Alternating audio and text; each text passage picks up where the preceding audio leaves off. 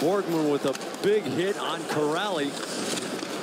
Moore finishes his check. Beleskey tries to one-hand it in front. Kuraly administers the check to Carrick.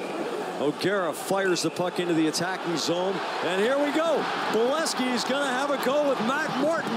Martin gets a couple of noogies as they spin down.